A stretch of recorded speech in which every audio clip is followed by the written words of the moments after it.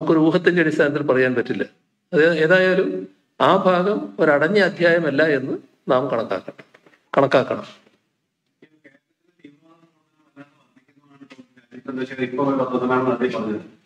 പിണറായി വിജയൻ മുഖ്യമന്ത്രിയായതിനു ശേഷം വല്ലാതെ വർഗീയ പ്രവർത്തനം വർദ്ധിക്കുന്നു അതിന് ഒരു തടയിടാൻ പറ്റുന്നില്ല. അപ്പൊ ഞങ്ങൾ പറയുന്നത് തെറ്റുകൾ ചൂണ്ടിക്കാണിക്കുന്നു സർക്കാരിന്റെ പിഴവ് മറച്ചുവെക്കാൻ വേണ്ടി ഞങ്ങൾ വർഗീയവാദി എന്ന് വിളിക്കുകയാണെന്നാണ് അദ്ദേഹം പത്രസമ്മേളനത്തിൽ ആരംഭിച്ചത് അദ്ദേഹത്തിന് എന്ത് പറ്റിയെന്ന് ചോദിക്കേണ്ട കാര്യമില്ല. അദ്ദേഹം പറ്റിക്കൊണ്ട് രാഷ്ട്രീയത്തിൽ ഇറങ്ങിയാണ്. അതുകൊണ്ട് അദ്ദേഹത്തിന്റെതായ രീതി അദ്ദേഹം സ്വീകരിക്കുന്നെന്ന് മാത്രമേ ഉള്ളൂ. ഇവിടെ അദ്ദേഹം ഓർക്കേണ്ടിയിരുന്ന ഒരു കാര്യമുണ്ട്.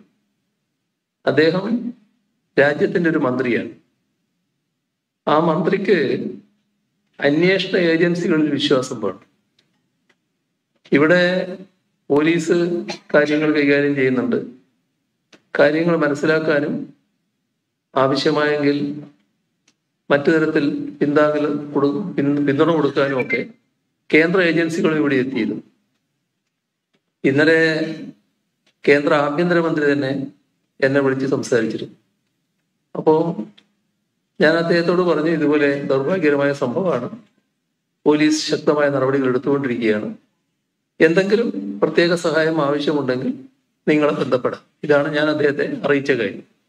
ഇതാണ് സാധാരണഗതിയിൽ ചെയ്യേണ്ടത്. ഒരു സംസ്ഥാനത്ത് നടക്കുന്ന കാര്യം എന്ന് പറയുന്നത് ഒരു ഒറ്റപ്പെട്ട നിലയ്ക്ക് കാണേണ്ടതല്ല. രാജ്യത്തിന്റെ ഭാഗമായി ഉള്ളൊരു സ്ഥലത്ത് നടക്കുക.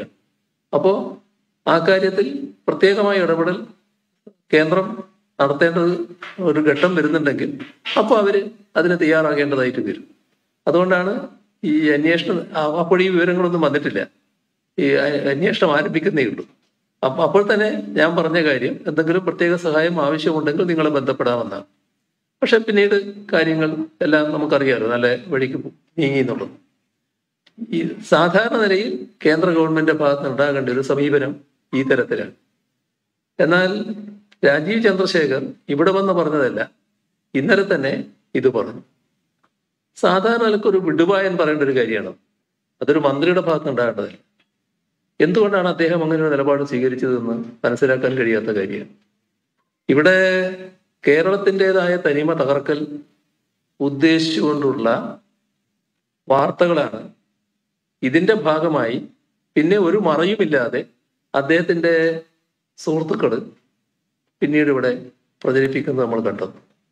അതൊരു പ്രത്യേക വിഭാഗത്തെ താറടിക്കാൻ വേണ്ടിയായിരുന്നു പ്രത്യേക വിഭാഗത്തെ ലക്ഷ്യം വെച്ചുകൊണ്ടുള്ളതായിരുന്നു. നമുക്കതിൽ ആശ്ചര്യപ്പെടേണ്ടതില്ല. കാരണം രാജീവ് ചന്ദ്രശേഖറും അദ്ദേഹത്തിന്റെ കൂട്ടാളികളും അത്തരം ഒരു മാനസികാവസ്ഥയിൽ നിൽക്കുന്നവരാണ് പക്ഷെ കേരളം അതല്ല. കേരളം എല്ലാ കാലത്തും അത് കാണിച്ചിട്ടുണ്ട്.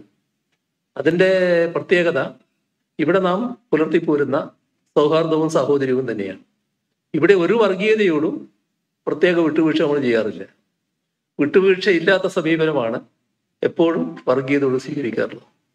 അതിന്റെ ഭാഗമായിട്ട് തന്നെ മതനിരപേക്ഷത നല്ല രീതിയിൽ പുലരുന്ന ഒരു നാടായി കേരളം നിൽക്കുന്നുണ്ട്.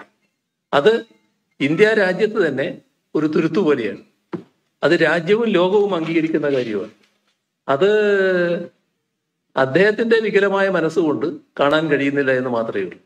അദ്ദേഹത്തിന് കേരളത്തിലെ എൽ ഡി എഫിനെ കുറ്റം പറയേണ്ടതുണ്ടാവും. എൽ ഡി എഫ് ഗവൺമെന്റിനെ കുറ്റം പറയേണ്ടതുണ്ടാവും.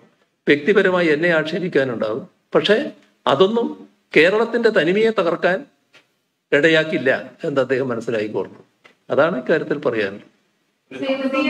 പ്രൈവറ്റ് ഹോസ്പിറ്റൽസിൽ ട്രീറ്റ്മെന്റ് കഴിയുന്ന ആളുകൾ.